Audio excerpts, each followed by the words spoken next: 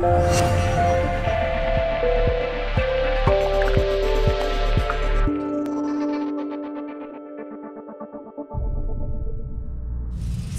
we are reaching the second part of our symposium, Zoom conference slash opening slash dialogue, where we'll dive even deeper into the critical zone and discuss key concepts in panel discussions.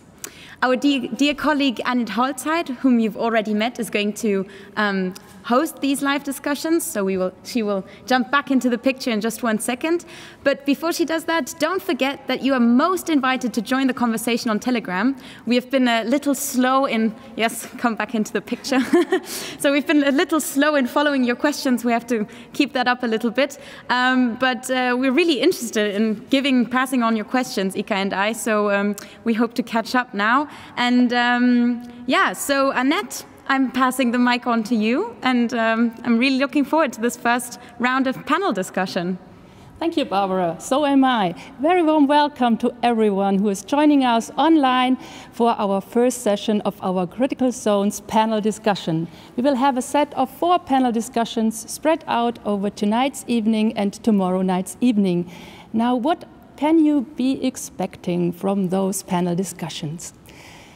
In a way, we will jump back to the catalog, which we have just been presenting by Jens and Bruno Latour, and bring a little bit of it to life because we have three panelists on each section of the panel discussions who have already and also contributed their essays to the catalog and also they have contributed if or in case they are artists artworks to the exhibitions.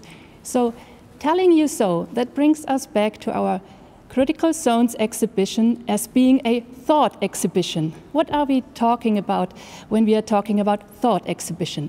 In this way, we are adding together in a very unique way created by Bruno Latour and Peter Weibel artworks, critical discourse, and scientific models. And what are we expecting from that? For the panel discussion? Well, we are talking about concepts, we are talking about models that are used in a very broad field that is fairly new, that is called the critical zones discourse studies or just the critical zone studies. That means that philosophers, scientists of the humanities, but of course, especially of the natural sciences such as biology, biochemistry, and so on. We already heard mathematics, physics, and we could go on forever. But now let's go back and see who is on the panel. It's my delight to introduce to you the first speaker who is with us tonight from the UK, and actually all of them will be from the UK. It is Jan Zalasiewicz. Welcome, Jan. How are you? Fine, thanks. I'm very, very happy to be here and to be uh, joining you all on, on this uh, uh, grand adventure, you know, which uh, I, I, think is um, uh, truly remarkable. Uh, and as Bruno said, something like one of the, the 16th century voyages, you know, just as difficult and dangerous and, and significant. Let me tell you a little bit who Jan is. Jan is a, has been a professor of paleobiology at University of Leicester. He is, has just turned into emeritus and now has time for different passions because he's also uh, stratigrapher and a field geologist. And what is very important for us tonight, besides, he's a member of the Anthropocene Working Group of the International Commission on Stratigraphy. So Jan will be our first speaker and he will present to us a talk on the Anthropocene square meter. Before we start with that talk, let me introduce to you our second panelist, which will be Jennifer Gabrys from Cambridge University. Hello, Jennifer. It's great that you are with us. I can already see you, but can you see us and hear us? Yes, I can see you. Thanks um, very much for organizing this panel. I'm looking forward to our conversation very much, and I wish I could be there in the exhibition, which looks stunning, really. So I'm looking forward to it. Wonderful. Jennifer Gabrys is chair in media culture and environment at the Department of Sociology at Cambridge University. What is really great is she leads citizen science projects and is about to start yet another project called Smart Forests, transforming environments into social political technologies, which is a project founded by the European Research Council.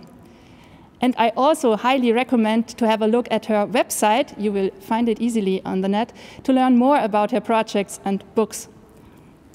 For tonight, Jennifer has prepared a presentation for us entitled Sensing a Moving Planet.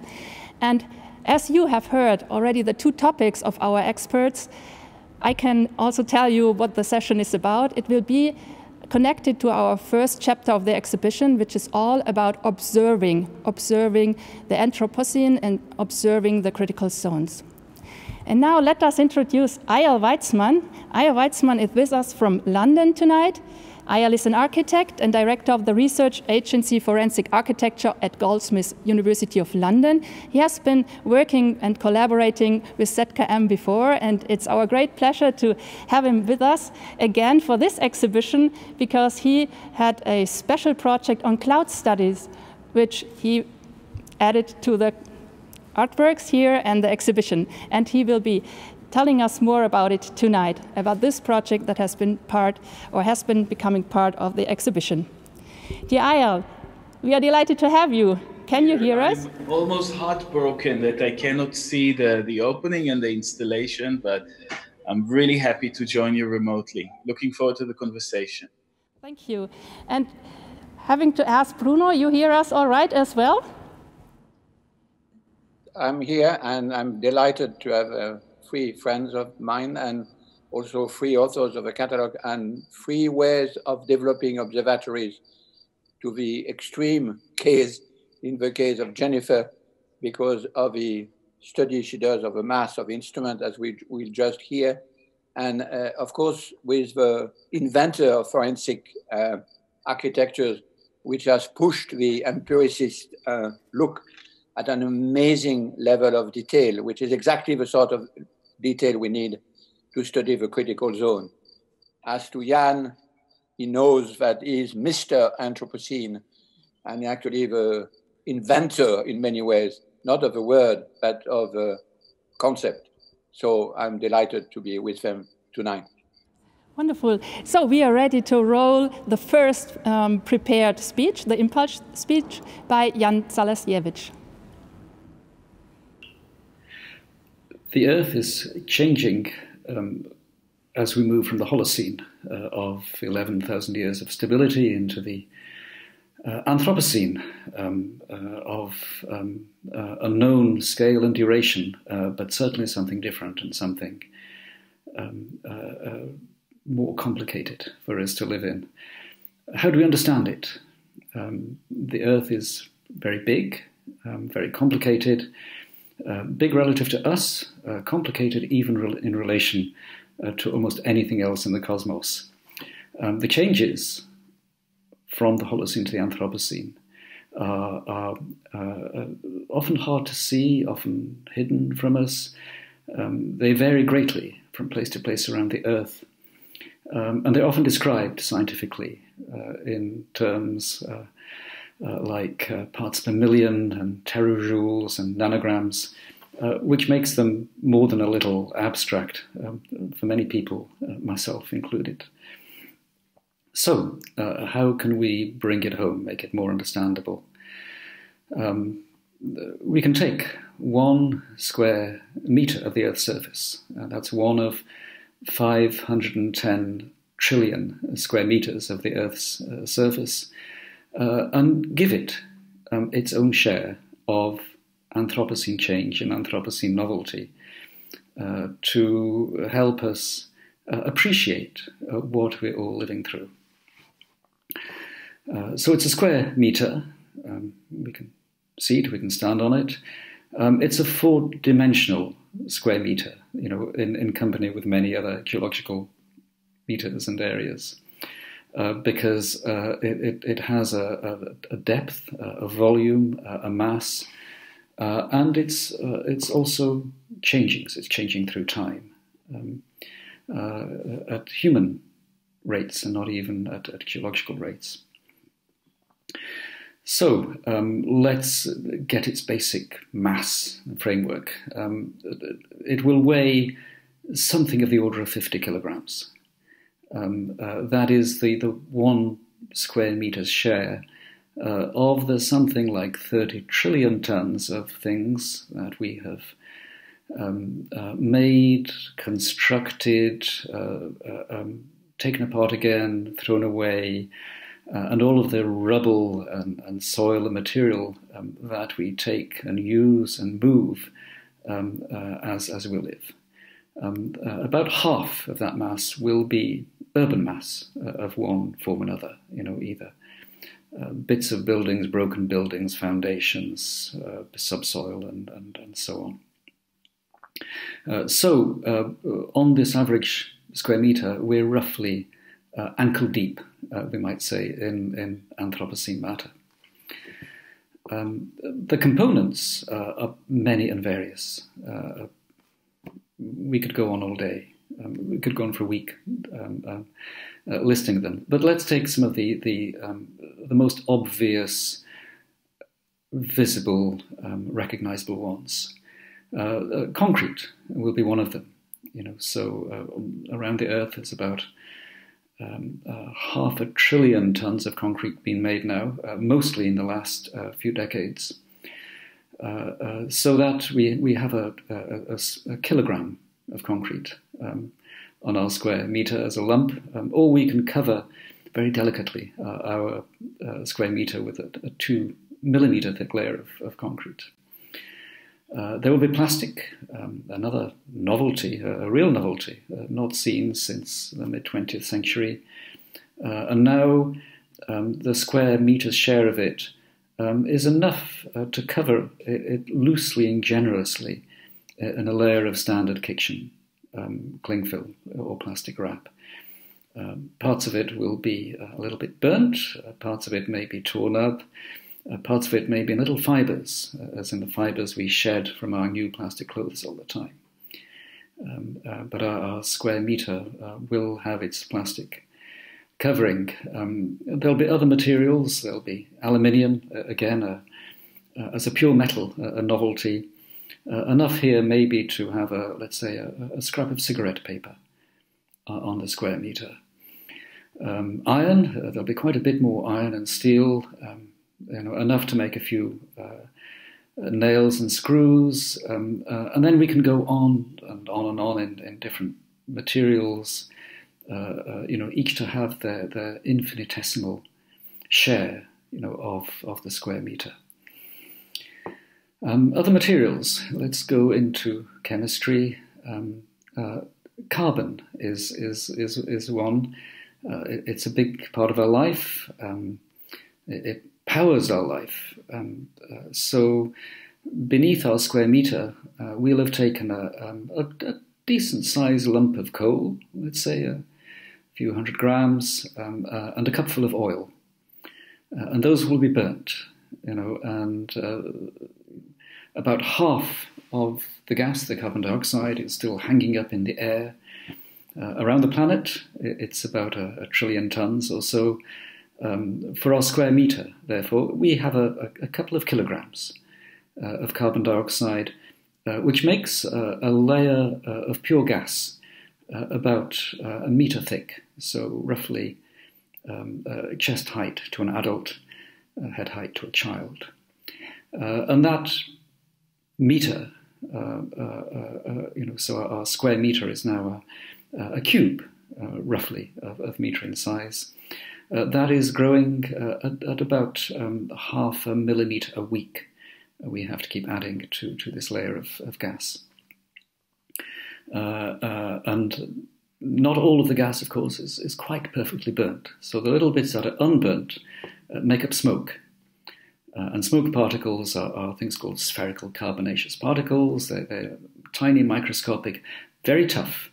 Uh, and there will be thousands of them uh, on each square meter now uh, of the Earth's surface, including our Anthropocene square meter. Uh, part of the effect of that, the direct effect of burning, and the much larger um, effect of heating uh, through the greenhouse effect of the carbon dioxide, um, is to heat up the Earth a little bit more. So uh, uh, the effect of that on our square meter is to have a, a continuously burning uh, uh Christmas tree type bulb. Uh, you know, adding about a, of about a, a, a, one, one and something watt bulb. Uh, and that is enough burning continuously to do things like melt ice. Uh, so uh, ice is melting. Uh, we know it's been melting uh, faster and faster, particularly in the last 20 years or so. Uh, and so our square meter is now flooded with something like um, uh, 10 centimeters of water. So we're splashing through the water uh, on the square um, uh, meter. Uh, and again, it's growing um, uh, at, at, the rate of something like two to three millimeters currently a year as the water gets deeper. Um, geologists look at fossils, so humans are making fossils uh, of all different sorts. You know, we, we are now uh, have made a variety of, of fossils, technofossils, we call them all the things we make that fossilize. Uh, that is arguably now greater than the diversity of all the fossils uh, we can find, um, you know, in the Earth strata or have found uh, uh, to date. So many millions of kinds, and how can we symbolize them? You know, on a square meter um, you know, perhaps maybe uh, we can go from a, a, tiny fragment of a cigarette end, uh, many trillions discarded of, of those, uh, to maybe a tiny part of a computer chip, you know, uh, for its, its, its wider significance. Um, and life, life also fossilizes. Our square meter has uh, something uh, like five kilograms of life, living matter on it um, that's diminished, that's shrunken. That's about half of the amount of life that existed before humans began to alter the amount of life, uh, largely in this case by cutting down uh, trees.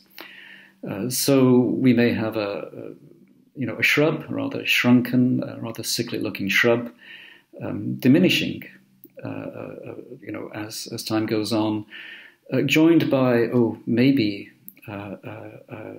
you know, the ghosts of, of vanished insects above, and perhaps things like a, um, a fragment of a, a, supermarket chicken bone below uh, as a new Anthropocene animal, by now far, by far, um, the commonest bird, you know, in, in the world. Uh, so uh, we have a square meter. We can keep on tending it, um, measuring it, modifying it almost infinitely. Uh, and if we keep looking at that, uh, perhaps we will have a better idea um, uh, of how this planet of ours um, is changing all around us. Thank you.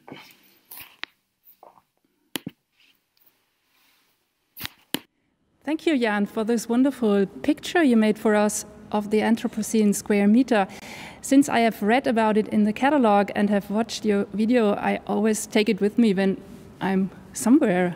But now let's ask Bruno about his thoughts on the Anthropocene square meter and questions he has to Jan. It's very great to see uh, Jan in both video, one in video and one in another video in real time. Um, you know, the traditional uh, motto is that man is the measure of everything. And uh, I'd ask Jan to summarize the opposite version, which is a simple scale to measure the, everything that man does. And he actually managed to do a square meter, which is the scale that you see in when you do a cartography, and you, you need a needle scale to get an idea of the size. Well, that's what uh, Jan did. And I have one question, Jan, because in your paper in the in the chapter uh, and what you repeat, you don't mention too much uh, the entity which is now bothering us, uh, namely the microbes and uh, they are said to be very, very heavy as well. I mean, have you factored them inside your scale? Well, that is a, a, a wonderfully complicated um, uh, and significant part uh, of the square meter. You know, uh, as with many other hidden small creatures, like you know the meiofauna, little creatures the size of protozoans, but fully grown animals. Uh, which teem in soils. Um, uh, and we don't really know how they're changing. Uh, microbes have played to different rules than normal animals and plants, if you like, you know, they they have this thing called horizontal gene exchange. They they uh, uh, they exchange genetic material. So even as we uproot forest, dig um, gardens, uh, build cities, um, trying to find out what the microbes are doing is, uh, uh, again, I think one of the big questions for the critical zone work. Uh, because what the microbes do ultimately drives everything else. Um, so um, yes, you, you, have, you know, with unerring skill, uh, hit upon, um, uh, uh, you know, part of the square meter that needs to be built up, and developed, and, and elaborated for sure.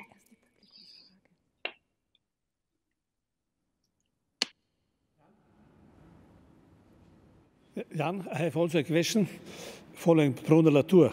Do you hear me? Uh, yeah? yes, yes. Because the book of Alexander von Humboldt was called Cosmos. And now we have a new book by Lynn Margulis and her son, Dorian Sagan, which is called Microcosmos. This is precisely the point. What is, does it mean that we shift now observing the microcosmos more than the cosmos? Is this a ground for the Anthropocene that we are now looking with new instruments really in the smallest entities of Gaia, like microbes? Uh, yes, for sure. Yes, and, and, and th there are so many places to look now that um, uh, uh, would have, uh, I think, excited Humboldt's um, attention and interest. Uh, for instance, when we build cities, what is the microcosmos that is taking place beneath the pavement, uh, beneath the streets, beneath the buildings? there is some kind of biology down there uh, which uh, has its own version of the critical zone. Um, and there's been nothing really quite like it in the last four and a half billion years of, of the Earth. Uh, so we are creating new microcosmoses all the time. Uh, there's one beneath us right now here.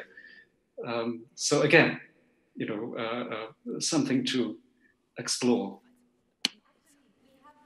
A small question from kind of an under microcosm, which is our Telegram community. And apparently it has triggered kind of a conversation there. So I'm just going to put it back into the conversation and see also, maybe it's a question to all the experts. I'm just going to read it out. It's by Anna. She says, Many speakers today have been using medical metaphors in relation to the role of critical zones investigations. That is very interesting, but potentially troubling in the way it evokes power inequalities, the power of experts, how it configures the investigators. It would be interesting to hear the speakers reflect on that a bit more, especially in the light on the war of the virus today. And she's asking what are other metaphors, not medical and not military, which we could use to inform our attention to Gaia or the critical zone. So she's asking what metaphors, what other metaphors we could use. I think that's a very interesting question. Maybe, maybe Bruno, maybe you want to start with that. Um, so because you you've been using, uh, I mean, you're a master of the metaphors. So maybe maybe you could start, and then then we could see if if uh, somebody else of the panel has an idea about that. Well, the question is a very good question. I might be influenced by the coronavirus and the fact that I myself had it, and I have a different view of the uh, danger of a medical uh, metaphor. But I don't want to um, push the metaphor too far.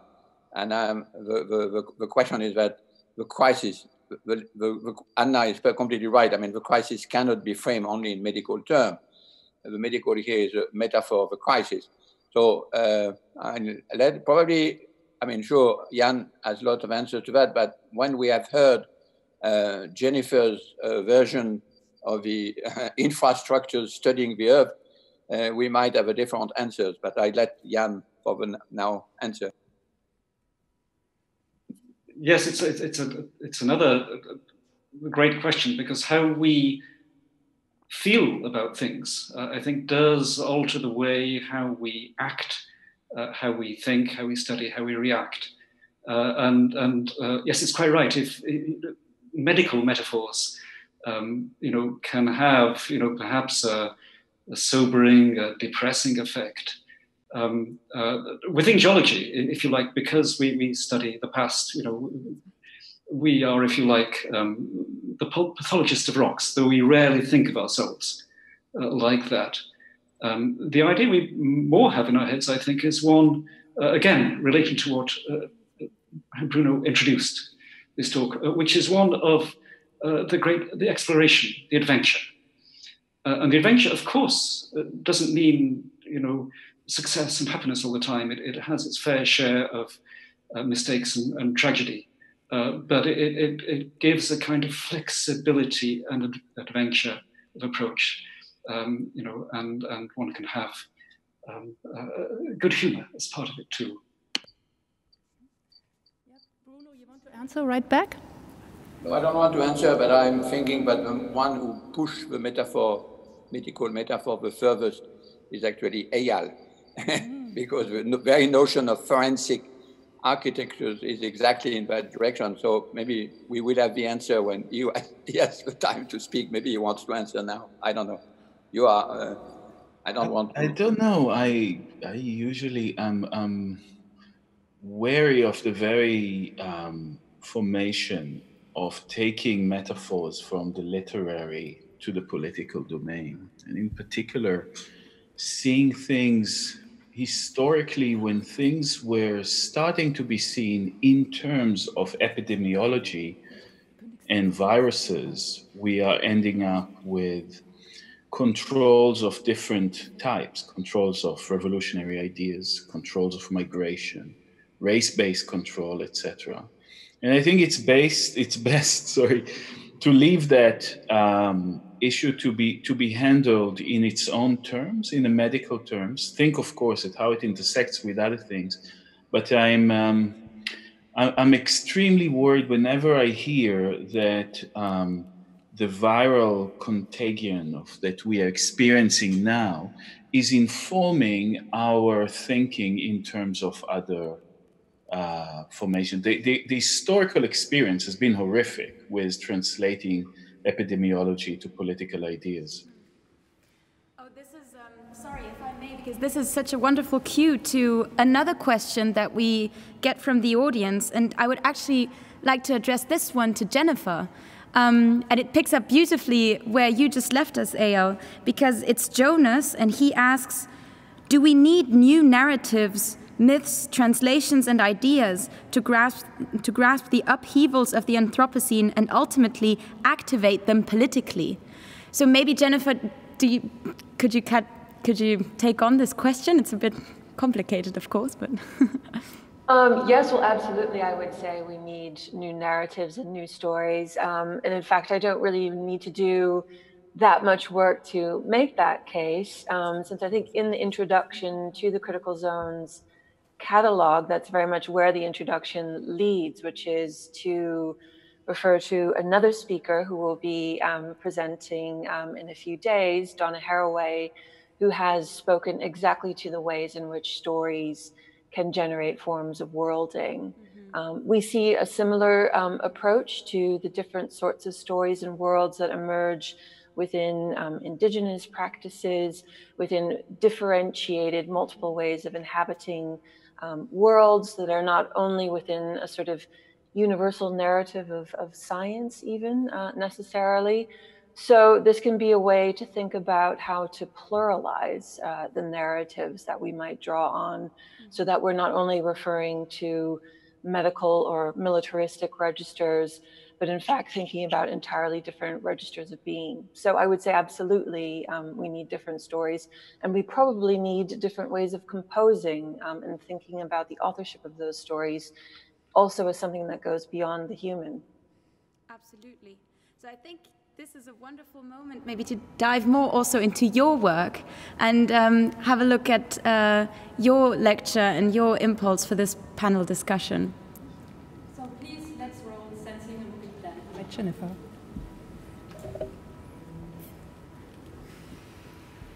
Hello, I'm Jennifer Gabrys from the University of Cambridge. Thank you for the invitation to present work on Sensing a Moving Planet as part of the Critical Zones exhibition and Mosaic launch event. Beneath the Earth's surface, seismic sensors capture the everyday movements of the ground, the intensity of hurricanes crashing into land, and the ricochet of tectonic plates that signal geological arrangements across deep time. EarthScope is a research project that studies the moving Earth through such sensors installed in a portable array across the US and parts of Canada. The Earth is on the move, and sensors are capturing its activities. There are now billions of sensors operating, not just in the bedrock, but also across cities, forests, oceans, glaciers, soil, aquifers, rivers, lakes, and air, along with any number of sensor carrying organisms. If you were to take a transect through the planetary critical zone, you might find sensors installed in every milieu. Sensors observe, assess, synthesize, and manage measurements of Earth processes. They typically operate as networks to detect, analyze, and actuate responses to environmental events. In this way, they materialize as larger ensembles for tuning in to planetary troubles as well as acting on them. I will traverse a hypothetical transect through these domains to consider how sensors describe and propose ways of inhabiting a moving Earth. Are these propositions best suited to building collective, just, and sensitive planetary relations? Layers of soil and rock burst with sensing activity. The threat of major earthquakes has led to seismic sensor installations in multiple cities worldwide, along with early warning systems and citizen sensing apps. At the same time, there are many zones not monitored by sensors, including oceanic spaces, where data gaps can lead to a less rapid response to earthquakes and tsunamis, as happened in Southeast Asia in 2004. But sensing is not just a project of protecting the planet or averting catastrophe, but also is used to facilitate optimization and extraction operations. Subterranean spaces are monitored for the presence of oil and gas, minerals, and water. Remote sensing and LIDAR techniques have become a way to address water shortages and to use technological infrastructures developed through military research to sense resources underground. Here, the movement of sensors across domains requires political work to contend with the thorny relations that form as these technologies constitute the resource of planetary materials. Waterways are sensed for elevation changes, currents and circulation, salinity, pollution, and underwater activity. Oceans have become observatories so full of sensors that scientists can monitor them remotely. From their laboratories and living rooms, onlookers can watch the unfolding drama of ocean acidification and biodiversity collapse. The movements of ships across watery spaces can also mobilize activist practices of countersensing, where vessel sensing techniques meant for shipping and military activities are instead used to locate and rescue migrants. Communities are also installing sensors for early detection of floods and for monitoring water quality. As we move through the transect of this critical zone, the sensing of watery spaces becomes evident less as an act of gentle fluidity and more as a condition of inundation and bordering, contestation and collapse. Organisms are also on the move as they migrate, respire, and transform their activities are multiply tracked and monitored through sensor processes. Migrating animals carry GPS collars and RFID tags that communicate with satellites. Humans carry wearables and pollution sensors, and nanoscale and wearable sensors adhere to vegetation to detect plant traits. Components from the natural world are made into sensors so that eels, lichens, elephant seals, and many other organisms can be monitored as biosensors, which record the effects of pollution and changing weather in their movements and patterns. These more organismal modes of sensing, however, demonstrate just how pluralistic the many ways of experiencing and navigating planetary zones are, whether monitoring the journeys of migrating animals or observing the carbon capture capturing capacities of plants. In forest locations, sensor networks form as Internet of Trees installations, which, as a modified version of the Internet of Things, monitor wildfires and drought, as well as tree growth and sap flow.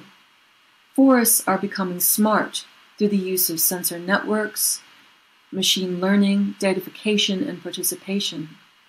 These projects are meant to watch sensors as they breathe in real time. Along with smart forests, there are now smart cities, smart oceans, smart agriculture, all operating as configurations of sensors and data analytics, machine learning, and networks to sense and actuate, manage, and optimize the operations of ecosystems. Yet these sensor installations are not just ways of describing environments, they are also ways of bringing them into being as socio political worlds with often disparate power relations. From ground based sensors to wearables, drones, and satellites, multiple sensors are drifting through more atmospheric spaces to capture pollution levels, temperature and humidity, the circulation of air, light levels, and more. Satellites monitor global distributions of air pollution, while citizen sensing projects use infrared sensors and particle counters to create alternative maps of pollution as it is experienced within the environment. Geiger counters track radiation levels from nuclear fallout, and citizen data from grassroots projects present new formations of facts while transforming the environmental problems under study. In these spaces, sensing tracks the transience and destructiveness of polluted and changing atmospheres, which in turn contribute to the need to sense human bodies, where ecological destruction returns in the form of disease and pandemics. By taking a transect through the Earth's critical zone, this short summary of sensors outlines how a moving Earth becomes sensible and yet, sensors capture the moving Earth only partially at best. The smart digital planet that materializes here is one that requires addressing the ways in which environmental data and monitoring might also foreclose as much as propose different planetary inhabitations. There are just as many events, interactions, and relations that collide with the descriptive ambitions of these monitoring and experiencing technologies. And yet, by tuning into the experiences of multiple, multiple organisms and environments across the critical zone, it might also be possible to expand the registers and operations of sensation that become evident. Such descriptive and sensing practices demonstrate how any project to sense a common planet will arrive at all that is uncommon about planetary relations and inhabitations. These planetarities signal how practices of observation involve ways of experiencing that are also propositions for how to collectively inhabit a moving as well as a differentially unequal Earth. Thank you for your attention, and I look forward to the discussion now that will follow. Thank you, Jennifer, for your contribution, because you deal with this very delicate subject. Bruno has written in my citation, we must become more sensitive. Yeah? Normally people think about sensors they think about our natural organs. They think our natural organs, eye and ears, etc., are enough sensors. But now we learn that we need artificial man-made sensors uh, which resist the the environment, the condition of environment, and it's also uh, are more sensitive than our natural sensors, our natural organs. Uh. Therefore, I say, my question is, can you can you confirm that the development of artificial sensors, extending, extending our natural sensors, uh, are something which is very important for our survival on the planet? So yes, the, the question of um, do sensors augment or extend our senses is something I've tried to think about rather differently, um, which is to think instead about how sensors challenge the usual configurations of subjects and environments. So rather than think of a discrete human with the proverbial five senses, how do sensors actually remake our relations with environments, with other entities, so that we might tune in to the capacities of a migrating bird um, or to a polluted waterway or atmosphere so that we think about um, our relations to these entities differently, not only through our ability to see or hear them, but also by our ability to um, be affected or have different registers of sensation because of the pollutedness um, of environments, because of the warming up of the planet, and so on. So, this is a way of thinking in that kind of holobiontic uh, mode um, that the critical zone might um, force us um, to, to encounter, which is how we are not discrete individuals with fully formed sensing apparatuses that can merely then be augmented by technologies, but rather our very environmental and habitations are differently configured along with the technologies that we use, and that those are always also bound up in power dynamics. So the ability to sense is not uh, merely a sort of universal generic process, but in fact, it's something that's always shifting in relation uh, to these different configurations.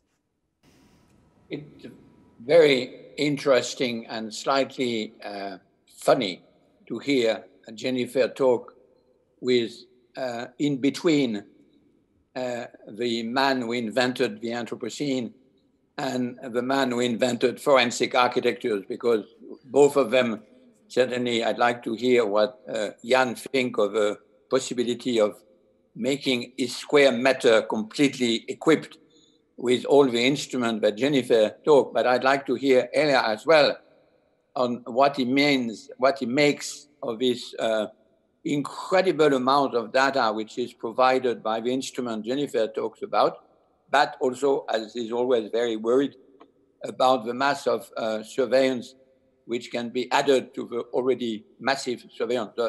Does it help his job or not? I'd like to hear both of them about that. So, uh, Eyal, could you first answer? Yeah, I, am uh, always fascinated with Jennifer's conceptualization of um, sensing, which is in fact connected to the way that Bruno taught us to rethink aesthetics. So, in a way, how do we aestheticize a particular situation? And I think that what it what it um, requires us to do is not only to use those electronic prosthetic sensors that we are locating in places, but to look at any material transformation as a sensor of a phenomena which is outside of itself. So you'd have analog sensors, you have digital sensors, and the capacity to describe a situation comes from the relations between them, i.e., from the way that you know in, in our in our forensic investigations when something happens it's the relation between the capacity of the brain to register something that has happened, the capacity of concrete on a building to register traces, perhaps of bullet holes, etc., the capacity of grass to register what uh, vehicles have passed over it or um, to what extent toxic materials were used, the capacity of air to hold information. And in a sense, what one needs to do is to have the imagination to compose something with them. So it's not only uh, a matter of volume, but a matter of how you are actually relating sensors that are completely ontologically different um, digital, human, uh, material, uh, gases, etc. And, um, and, and this, is, this is somehow the kind of condition we are living in. So, for example, from from the forensic architectural perspective, since you asked uh, Bruno, um, we we were used to a kind of a situation like in the Arab Spring or the kind of the the, the wars that um, happened after the collapse of the Arab Spring, but you would have about 10, 20 videos of an incident and with which we would try to reconstruct something we are working now with activists in Hong Kong. We, in fact, we were asked by several members of the protest movement to help them build a, a, case file against the repression by the authorities. And the amount of data that exists there simply by phones is impossible to humanly process. Um, the amount of environmental data that exists, registering tear gas quantity, is enormous. And we need also a capacity to process, to rely on artificial intelligence and machine learning. We need a kind of a human machinic way of composing and understanding these. We have a question from the audience, I just heard. Yes, um, we have a question which would actually, um, it does lead back to Jennifer because um, it's uh, how does sensing sensitize those who are sensing? And how does it become political or lead to care? I really like that one. No, I think that's a that's a really great great question in terms of how um, we become sensitive. And uh, sorry, I'm having a little bit of a sensitive moment with a more than human here. Um, but uh, I think this is this is a political question because the sort of arts of noticing that um, Anna Tsing um, discusses are are not necessarily given. So how does something come to attention? Is that something that occurs through technological apparatuses? Is that something that requires certain relations to take hold? Um, and then what is done with that noticing? How is evidence mobilized? Um, how does that form different collectives who are able to become mutually sensitive to situations that can generate forms of care? So this is something um, that I've certainly written about um, before of thinking of care not as something that is uh, normative or prescriptive, but as something that also requires a kind of responsiveness to situations of pollution and harm, for instance, there for which there might not be a pre-given script. So I see this very much as a, a kind of um, processual way to understanding sensing, not nearly as making something visible, which is the usual way of understanding, um, for instance, how to act on pollution as a way of becoming sensitive, but perhaps to draw in conditions of um, health, environmental justice, asthma, pollution, uh, more than human toxicity, um, as conditions that are emerging and require arts of noticing that are still in the making. So, how do we develop concepts, stories, uh, vocabularies, practices, and interventions um, for working with these conditions? Thank you so much, Jennifer, for answering and also posing the uh, important questions. I think we could link this very beautifully now to Eyal Weizman's talk. Mm. Uh, we, um, yeah. Eyal, Eyal um, please start um, okay, so we can yeah. have a good connection. I think that, um, I mean, a strange um, uh, position here in this exhibition because also a very extensive video essay uh, that Forensic Architecture contributed um, is on display online and in the exhibition. So perhaps uh, I will not go so detailed into the images, but I want to start actually with something that may appear completely different. I want to start with my friend Achille Mbembe. And unfortunately, a topic that is hotly contested in Germany. And I do not invoke Achille Mbembe because of the offensive and ludicrous accusation against him, something that could simply be dispelled by anyone that wants to read news from the Middle East and from Israel in Arabic and in Hebrew, would see that this is absolutely the language that is being used to discuss the situation.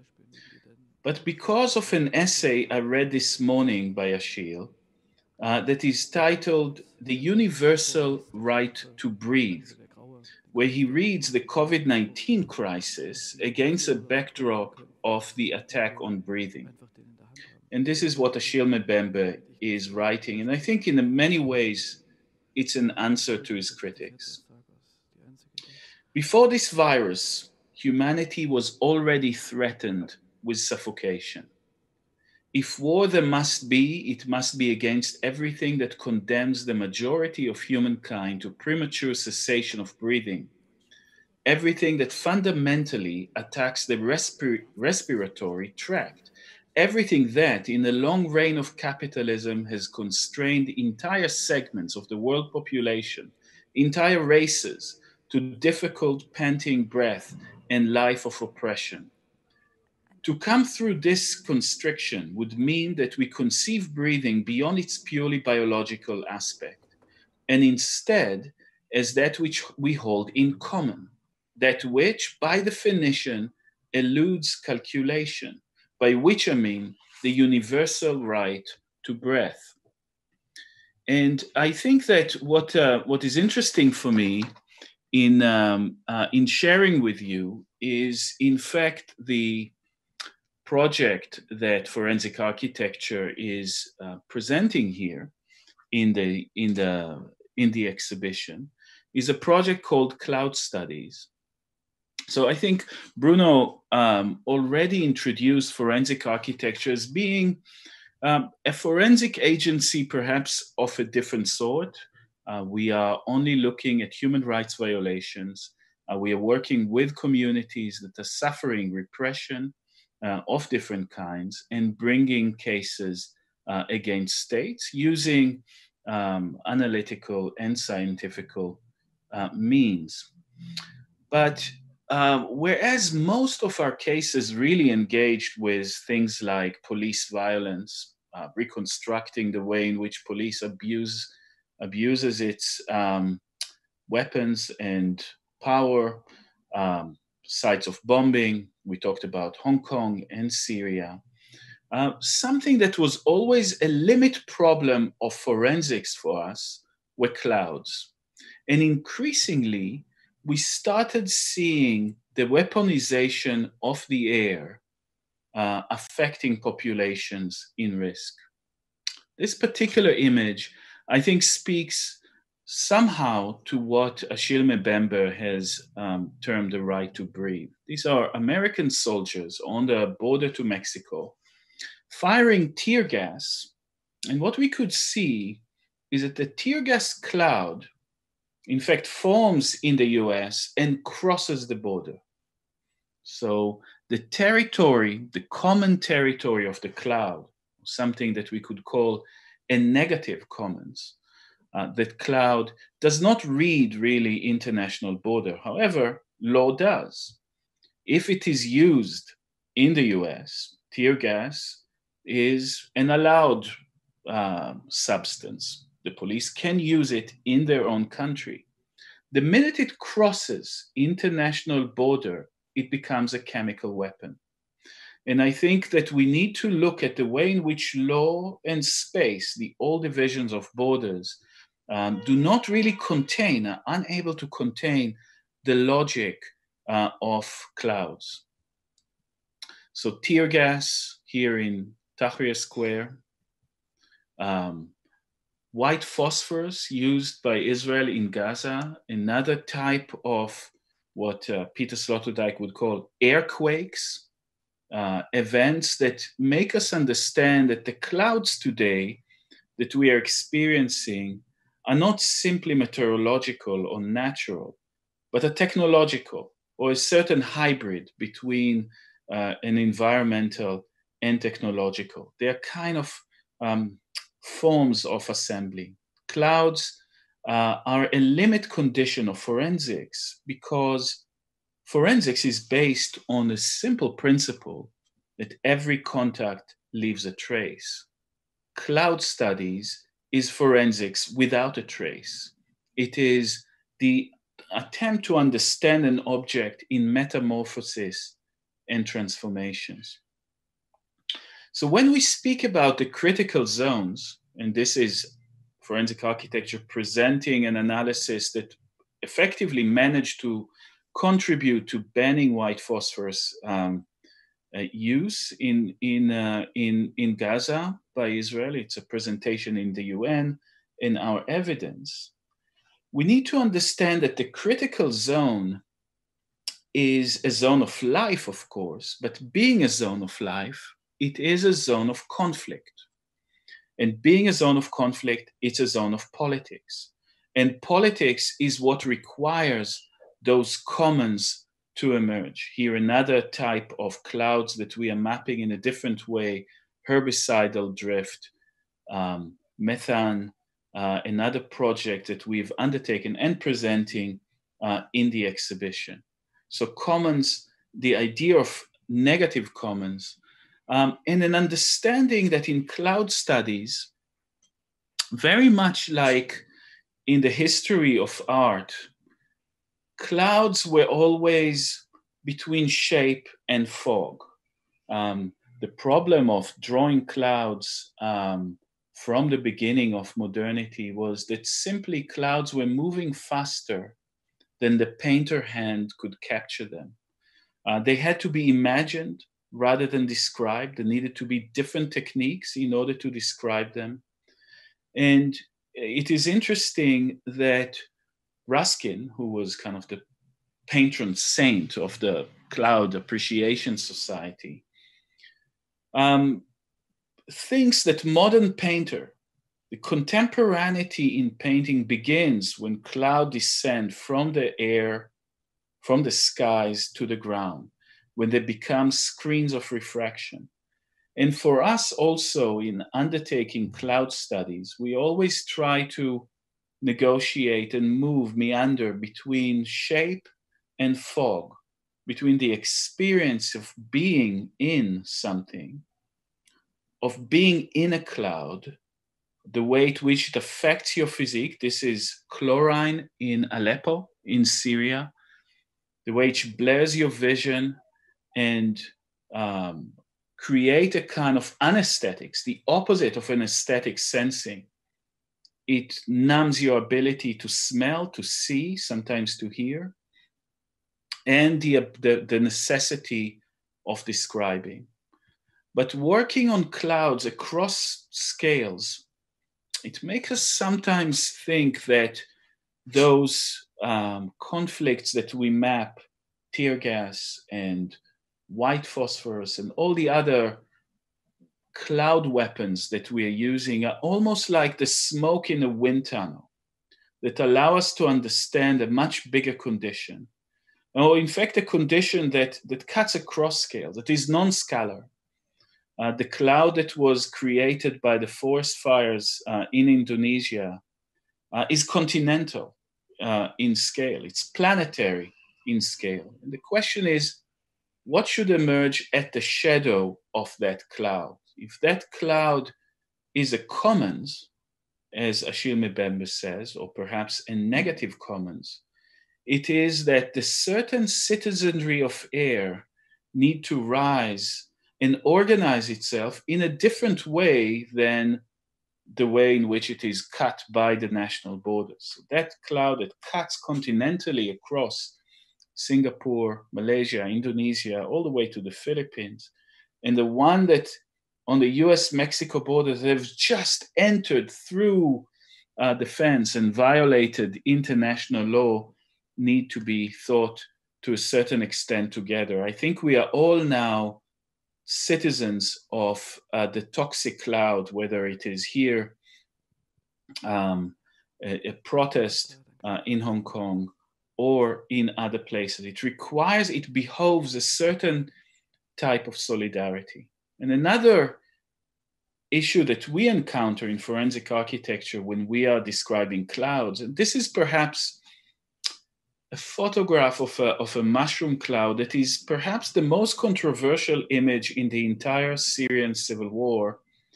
It is a cloud that was created by a sarin bomb in uh, a town called Al-Lataminah in 2017. And bombs like that are also information bombs. So this is a term um, uh, by Paul Virilio, information bomb. The minute they hit the ground, amazing amount of media, arguments, counter arguments, negations, and debate uh, appear online. So we need to also think about the cloud as a certain kind of epistemological fog. These are the Twitter debates simply about chemical strikes in Syria, but you could do the same for climate change or the responsibility for the forest fires in Australia, uh, etc. There is something about cloud and about the, the, the way in which this optical blur turn into epistemological fog that requires that sticking with a problem, that require us to create um, associations between different types of investigations, those that the people that experience that these clouds firsthand, the people that are affected optically and physically and bodily by it, uh, people, the scientists that can map it from the outside, the journalists that could disseminate these ideas, the lawyers that perhaps could litigate them. We need to create these kind of alliances in order to act within and against that kind of violence that we are subjected to. That's it. Thank you so much, Eyal. I would like to pass on the word to Jan directly because I think there's a good connection between the two of you. Yes, I think, you know, because clouds are, it's a visible movement of air. Uh, and uh, uh, of course, you, you, you know, they're carried by the invisible components, um, you know, of, of the air, um, in, including things like carbon dioxide and methane, which can now be made visible as well now by the kind of uh, sensors that, that, both Jennifer and Eyal described.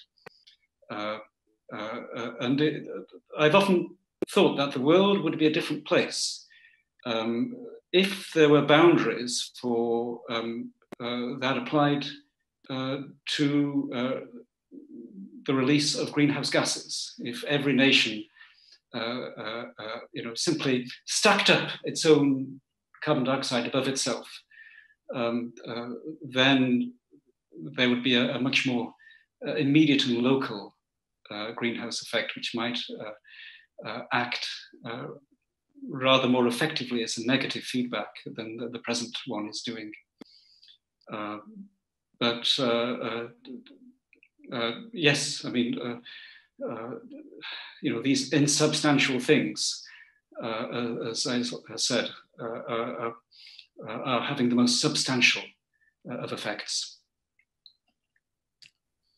Yes, I think that if if cartography was developed in order, you know, cartography, the nation state and the empire, right, were developed more or less in relation to each other.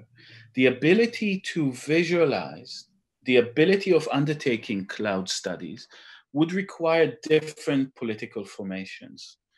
Uh, because the minute that you are able to describe, you also create. You create different kinds of communities. And I think that this is, um, there's always a relation between the, the, the capacity to describe and kind of political formations that are very interesting. For in Hong Kong, we're speaking about Hong Kong continuously. We, we worked with the activists that were actually measuring levels of tear gas across the city. And they have looked at the way in which the political map in Hong Kong changed. And in fact, people that were bodily exposed to breathing and sensing tear gas have changed their political affiliation or had, had more inclination to do that to the extent that the shape of the cloud redrew the political boundaries um, in, in Hong Kong in a really interesting way. Well, thank you so much to all the participants uh, up until now. I love how we've gone from the very scientific data to the cloud to uh, even an art historical uh, kind of background from, from cloud drawing and then also the political aspect of sensing. And now, of course, we um, obviously, unfortunately, have to wrap up this discussion quite soon, but I wanted to do that with a lovely question from the audience um, that kind of opens up a lot uh, again, but could, we could use it for a poetic kind of end. Um, it's a question by Oliver, and uh, he says, How do we develop our sensing capacity? What could guide us in that process? And how do we develop curiosity and search for novelty going from there? And I would like to pass this question first to Jennifer, and then um, maybe Bruno, maybe you could give us a closing statement uh, as an answer. Jennifer, please. well, I'm like, I think this is a really challenging question about how to develop sensing capacity um, is that something undertaken as an individual pursuing a sort of project of self betterment? Um, I would say probably not. Um, I think instead, this is perhaps thinking of different ways of tuning in across collectives, relations, um, and environments and rethinking subjects exactly in those sorts of ways we heard in the opening um, to the session tonight in terms of Lynn Margulis's work on um, holobiont. Also, I would draw on uh, work by Alfred North Whitehead on the subject superject, Isabelle Stengers, and other people who have troubled the way that we think about the subject as something that would um, merely refine uh, its abilities to be more sensitive sensitive and more aware? How do we instead think about ourselves as already entangled with so many other entities and environments? Um, how is this moment of a zoonotic disease shifting the way that we live one of those instances? And how do we think about that as a possibility for living otherwise? So I would say it's it's about um, perhaps remaking the boundaries of the subject, uh, tuning into environments and relations, um, and finding new sensory capacities within those situations. Um, Bruno, would you would you like care to answer to that? I, I, I mean, this was a great uh, panel, and I I'm very moved in a way because uh, what uh, the three of them uh, describe is the whole situation that we try to uh, materialize in the catalog and in the exhibition. In a way, uh, Jan provided us with the big question, which is this in, in introduction of this cloud, so to speak, which is the Anthropocene, uh, which we have to live in. And we are a bit short of breath since uh, Jan uh, introduced it. And I think Eyal uh, provided a marvelous description of what we try to do, which is to say that if we get out of a cartographic state, which was invented basically uh, with cartography, is perfectly right. If we begin to map like Jennifer tried to do with all its instruments, uh, we need another state formation. And of course, this is the great question for the next uh, decade, which is how do we manage to uh, with all of his instruments uh, to manage the state which absorb the shock of the Anthropocene. So I think it was a great panel, and I hope it's recorded. And uh, we, we are very grateful uh, for you to have accepted to, to come. Many thanks, and I hope we will pursue in the space, hopefully, inside the space uh, in a few months. Thank you very much. I would like I would like to link uh, the comment at the end to make a link to, to Bruno Latour. Two remarks.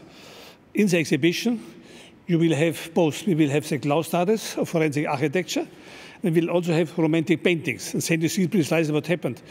In romantic paintings, we had clouds untouched by, untouched by human people, untouched by human hands. We had an idealized image of nature. Today we have cloud studies. We show what happens with cloud. Uh, the clouds even can become information bombs. They can become uh, clouds where we store data, and they can become uh, toxic. Uh, so we see the change. Uh, see, we see the effect of the dust evolution of the Anthropocene. And a second remark to Jennifer. Um, when I understand you correctly, you said sensors are uh, redefining our relationship of our human people to our environment. Uh, if, if I understand you correctly, it's very important to understand because when I did this Bruno years ago, the exhibition, uh, making things public, uh, and when he developed this idea of Parliament of Things, we, we, he has a question, how do we represent human interests in the parliament? That's fine. But how do we re represent the interests of non-human actors? For example, do we hear the voice of a river? Yeah? Then we showed two installations that with, with, with, artificial sensors, because our eyes and our ears do not hear the voice of the river. But now, we, but now we have developed different sensors, artificial sensors. And with this sensor, we can register and we can represent the voice uh, of human actors, non-human actors like a river. And I think the development of sensors is, in fact, Bruno, very important for your idea of a parliament of things. And I think this close and this uh, uh, conversation tonight clarified a lot of things. Bruno, what do you mean? We have already two hours, so I'm too tired. I need a break. Mm-hmm. Yes, Bruno. And I think we should thank our speakers yes. and uh, let go to the other part of the uh, program, as far as I'm concerned. If not, Peter, you are going to have all your stuff fall down soon, and I think we should go on. Thank you. Thank you, Bruno. That was my cue, so wonderfully done. Um, we really want to thank um, all the the guest panelists, Eyal, Jennifer, Jan, you were amazing. Thank you so much for enriching uh, this wonderful evening for us. Bruno, also to you, thank you so much for being with us tonight. It's really, yes, we have Peter bowing to all of you. Um, I'm, I'm, we, all, we are all joining in that. And as Bruno said, we are now going to take a short five minutes break. We might need a little bit more than five minutes. We'll see about that. Um, you can see uh, that on our screen. It's, it will just say we'll be right back in five minutes. So see you right after that. Thank you. Thank you. Thank you all.